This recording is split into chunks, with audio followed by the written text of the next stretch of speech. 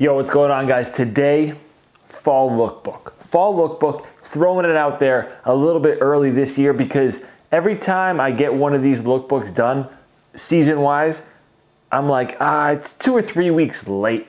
I always feel like I'm late to the party. This time, early to the party. I've already gotten a glimpse of fall weather here in New England, so I pretty much just recorded every outfit that I wore over the past 10 days or so. This is gonna be part one of the fall lookbook.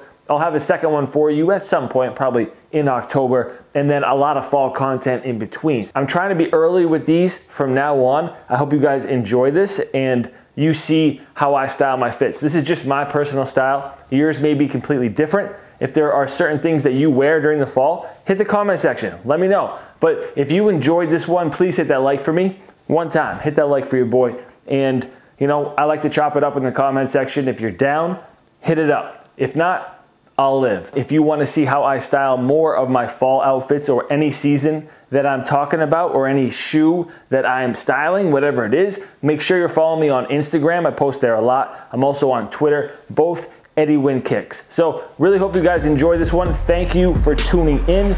Let's get into it. I'll catch you next time. Peace.